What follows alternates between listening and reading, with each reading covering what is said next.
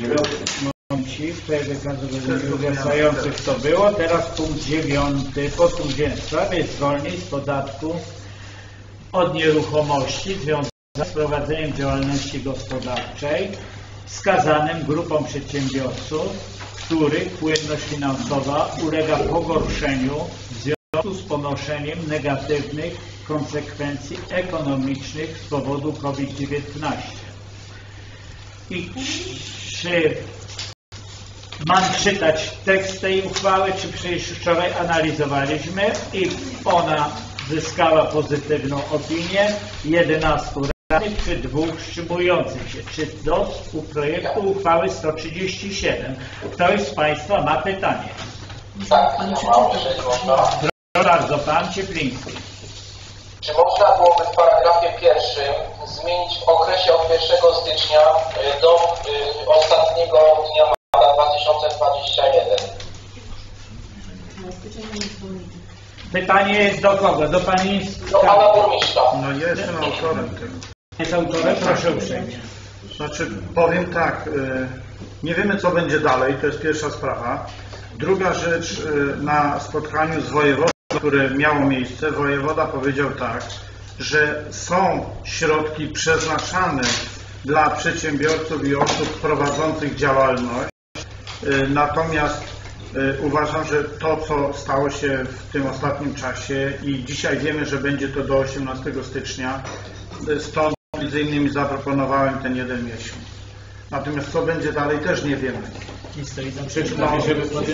Można, można taką uchwałę podjąć dalej, natomiast jeżeli, y, jeżeli będzie to y, tak samo jak i ten okres, to musimy i tak znaleźć środki, które już mamy w jakiś sposób zaplanowane, a one do nas do budżetu nie wpłyną. Ja na dzień dzisiejszy proponuję to w tym kształcie. Ja złożę wniosek do głosowania, może radni też y, mogliby tutaj się skłonić nad tym, żeby jednak na te trzy miesiące, bo sam Pan Burmistrz teraz podkreślił, że nie wiadomo jaka będzie sytuacja, a to wiem, że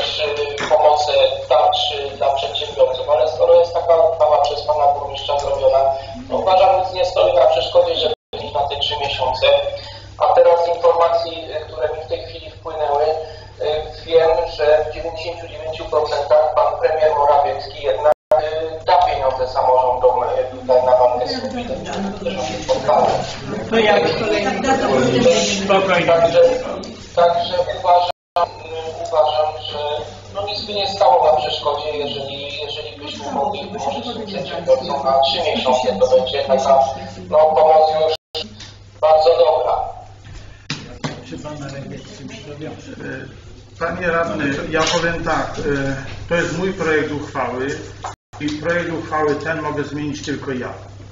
Y, Natomiast Państwo jedynie możecie to albo przyjąć, albo odrzucić. Y, Jeżeli będzie, czy na sesji, czy kiedykolwiek, Wasz projekt uchwały, możecie go dowolnie zmieniać. Natomiast tu prosiłbym albo zająć stanowisko albo na tak, albo na Dziękuję. Proszę bardzo Pani Radna. Proszę Pani Ja mam Radna. pytanie do Pana Burmistrza y, w tym momencie. Czy jest szansa, że wszyscy przedsiębiorcy, którzy złożą oświadczenia, będą zwolnieni? Czy tylko będzie po prostu wybiórczo na podstawie, że tak powiem, oceny Proszę. Prostu oświadczenia, które go składają? Jeszcze, można byłoby się uspokoić, gdyby na przykład była szansa taka, że wszyscy na ten miesiąc zostają zwolnieni. No właśnie, Proszę przedłużenie tak, zaraz Czyli tak, jeszcze raz powtórzę to, co powiedziałam na początku. Rozmawiając z tymi ludźmi, powiedzieli, że taka pomoc dla nich to jest naprawdę mała pomoc, bardzo mała pomoc w sytuacji, w jakiej się znajdują. A druga sprawa. Y, Pan powiedział, że praktycznie ta uchwała powstała, zredagował ją Pan na podstawie y, jakiegoś przepisu, który przyszedł później, tak. tak? Który musimy Ale tam jest podane. Tam jest w paragrafie pierwszym. Macie poszukać. Dobrze, dziękuję bardzo. Proszę bardzo. Jeżeli, jeżeli Proszę można- ostatnie słowo Pan Burmistrz. Pani radna, szanowni radni, to jest tak, że e, najprawdopodobniej, nie, na pewno nie dotknie to wszystkich, że wszyscy będą zwolnieni. Jest rozporządzenie, które mówi jasno, do jakiej grupy osób to jest kierowane. Tak. No, Zresztą tam mamy, tak, my tam załączyliśmy ten Dlatego panie burmistrzu, no, zamiast dwóch uchwał jedna uchwała mówiąca tylko o przesunięciu dla wszystkich na przykład tego Nie, terminu, jest prawda? umorzenie i A przesunięcie. nie zwolnieniu tego jednego miesiąca. Może to bardziej dla nich było korzystniejsze w tym momencie, prawda? Może w tym momencie przesunięcie płatności. Korzystniejsze jest chyba jak się ich dzwoni, nie? Ale No, tu jest nie przesunięcie. Proszę Państwa, Pani, chwileczkę, Pani, bardzo proszę o odpowiedź. Pani skarbnik odpowie Pani radnej. Proszę. Bo tak, na jednym bym chciała panu Markowi odpowiedzieć, bo tam pan Marek mówił, żeby jeszcze styczeń przesunąć, Tak. ale styczeń to jest następna uchwała, gdzie pan burmistrz przygotował projekt o zwolnieniu, czyli tak jak to było, tak jak było mówione, zwolnienie z płatności. zwolnienie, nie Dlatego nie było przygotowywane do przesunięcia terminu płatności stycznia, bo w kolejnej uchwale jest zwolnienie Tak, tego Przepraszam, ja się może źle wyrazić. O, mi chodzi o zmianę w zapisie w paragrafie pierwszym w okresie od 1 stycznia do ostatniego dnia marca zwalnia się z podatku od nieruchomości gruntu, budynku lub innych części. No ale wie pan, trzeba bym też powiedzieć, że samo zwolnienie z podatku od nieruchomości tych przedsiębiorców, którzy są wymienieni te grupy w tym rozporządzeniu ministra finansów, to jest około 100 tysięcy złotych.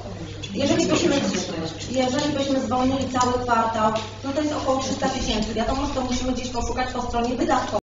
To inaczej może. Ja zapytam, a czy Chwileczkę, jeszcze nie pani, chwileczkę? Pani, o, Pani radna nie skończyła. Pani, przepraszam najmocniej, stawmy się do jakiejś No jest... Pani radna, proszę... Proszę nie krzyczeć, panie No nie, bo Pani wchodzi w błąd, nie wiadomo Po dlaczego. prostu chce- jest dyskusja, No, jest Nie, dyskusja jest inna, a teraz jest Pani odpowiada księgowa, a Pani non stop wtrąca się. Nie no, stop, tylko to... Proszę bardzo, Pani księgowa odpowiada, za chwilę udzielę Pani głosu. Więc do stycznia już mamy i tak jak tutaj Pan Burmistrz mówił, było mówione już, że y, ta uchwała tylko daje po prostu zwolnienie dla tych przedsiębiorców, gdzie teraz w okresie pandemii mają zamkniętą działalność, nie mogą tej działalności wykonywać. Bo ci, którzy cały czas... Ale to jest prawie 80%. O Boże. No nie wiem, nieruchomości Pani Radna miesięcznie wpływa około 400 tysięcy, a w tym 100 tysięcy to, to, to dotyczy wynajmu. No tak, jedna czwarta. Dobrze, ale jak mówię, y, Panie Skarbnik, ci ludzie płacą nie od wczoraj, nie od roku, tylko od iluś lat pieniądze Tak, do płacą, miasta. Czyli też oczekują jakiegoś swoją stronę ukłonu.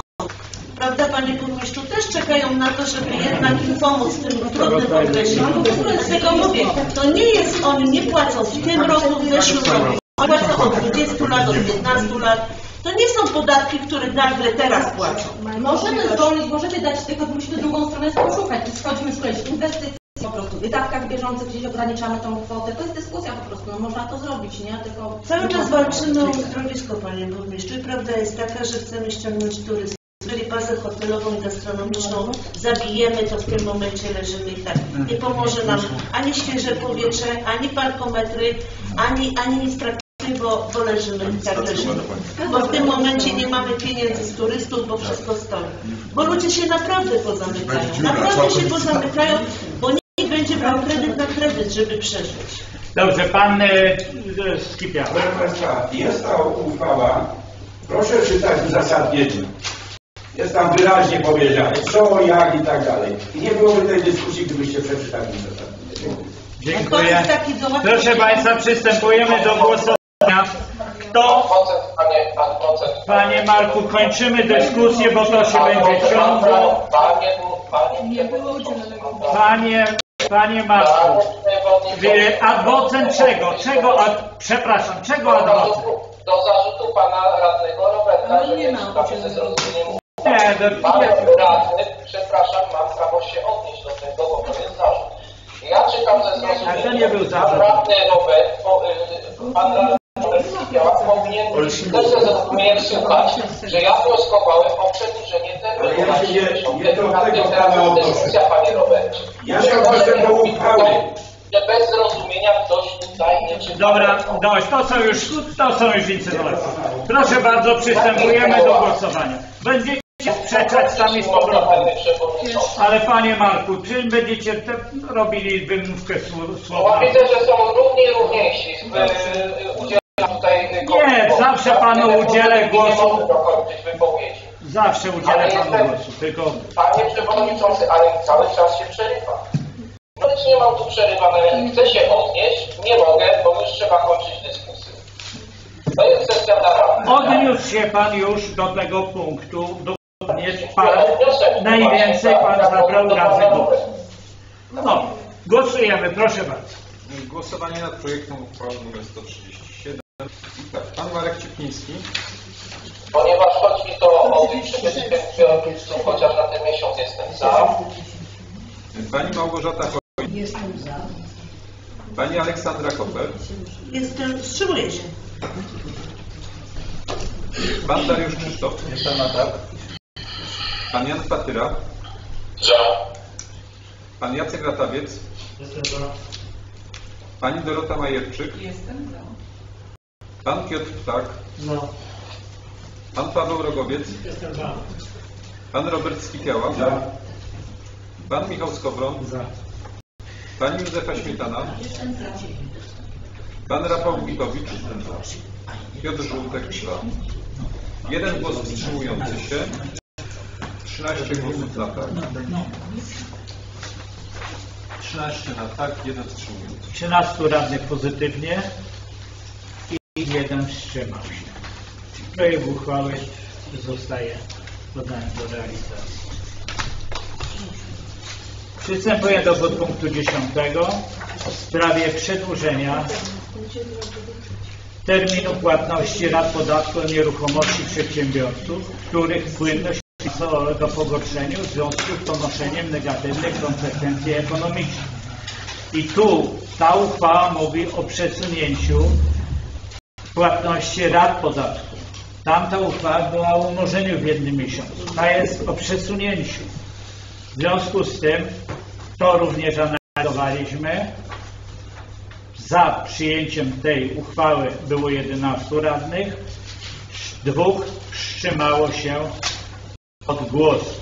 Czy w tej sprawie Państwo chcą zabrać jeszcze głos? Proszę Pan Paweł. Mam tylko takie pytanie, czy y, ten przedsiębiorca y, może skorzystać z tego bezpłatnego miesiąca i z tych dwóch miesięcy przesunięcia? Tak. Dobrze. Proszę bardzo. Przystępujemy do głosowania. Pan Marek Ciepliński, Jestem za. pani Małgorzata Choi, Jestem za. pani Aleksandra Koper, Wstrzymuję się. pan Dariusz Krzysztof, jestem tak, pan Jan Patyra, Za. Jan Latawiec, pani Dorota Majerczyk, Jestem za. pan Piotr Ptak, Za. pan Paweł Rogowiec, za. pan Robert Skipiała, pan Michał Skowron, Za. pani Józefa Śmietana, Jestem za. pan Rafał Wójtowicz, jestem za, Piotr Żółtek za. Jeden głos wstrzymujący się, 13 głosów Za. radnych za i wstrzymujący się. Projekt uchwały został przyjęty do realizacji. Proszę Państwa, przystępujemy do